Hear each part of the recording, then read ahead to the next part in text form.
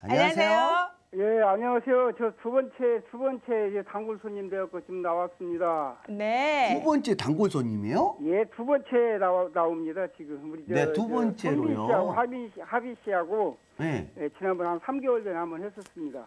아, 네. 3개월 전에. 예, 그리고 이제 그 이제 한옥마을이 있고 비빔밥이 유명한 전주에서 나왔 전주 그때 아 맞다 그때 그런 말씀 했죠 맞아요. 그죠? 네. 어. 예. 어, 아버님 오늘은 뭐 다른 거 전주에 또 다른 거 한 개만 딱 설명해 주세요. 홍보해 주세요. 다른 것은 뭐라고 할까 뭐, 뭐 한옥마을을 저 어제 그 토요일 날 일요일 보니까요. 네. 손님들이 많이 오셨더라고요. 아, 그 동대니까. 우리, 예, 그 주차장 같은 데 보니까 차가 뭐될수 없을 정도로 음. 그러니까, 많이들 그러니까. 오셨더라고. 아, 이제 조금 더 풀리는 모양이구나. 그런 풀려야 돼요 들어요. 이제 예. 백신들 맞고 이러면 예, 이제 예. 풀릴 거예요 맞아요. 사실은 어, 오늘 또 수도권에서 많이 나오긴 했지만 예, 예. 그 단체로 나와서 그래요 이게 그렇죠. 예, 오늘 네. 저 전락도 여섯 분인가 이렇게 나왔더만은 네. 예, 그좀 한두- 한두.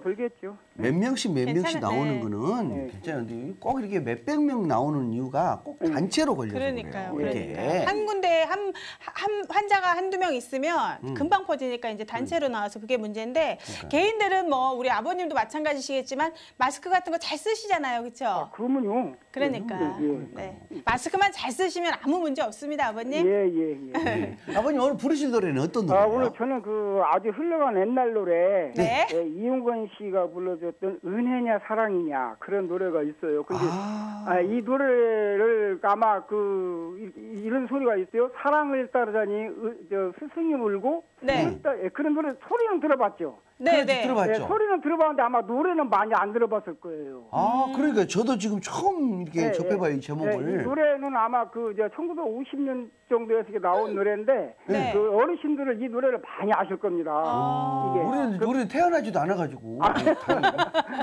이 노래를 간접적으로 그 강진 씨가 그 저 저 삼각관계에서 그 네, 노래가 네. 들어가 있잖아요. 네 네 네 네네. 예, 그렇죠? 예. 네, 아, 맞아요. 사랑을 예, 따르자니. 아마 이 노래 를이 방송을 저는 밤에 그 9시에 그 보통 그 재방송을 많이 들어요. 네, 네, 네. 듣는데 음. 제가 오늘 이 노래 부르는 노래를 한 번도 안 들어본 것 같아요. 야, 저 궁금합니다. 얼른 들어보고 싶어요, 아버님. 예, 예, 예. 알겠습니다. 그럼 음악 들을 테니까 얼른 들려주세요. 예, 예, 예. 네네. 네, 감사합니다. 예. 자, 우리 전주에 사시는 허성길 아버님께서 불러주십니다. 은혜냐, 사랑이냐. 은혜냐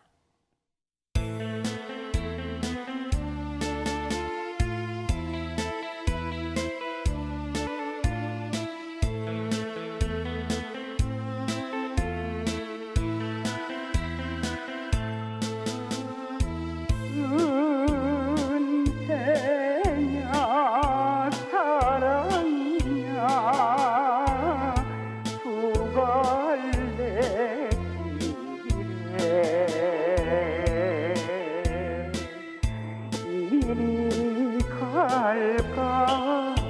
저리 갈까 서없는 발길 스승을 따르자니 사랑이 일고 사랑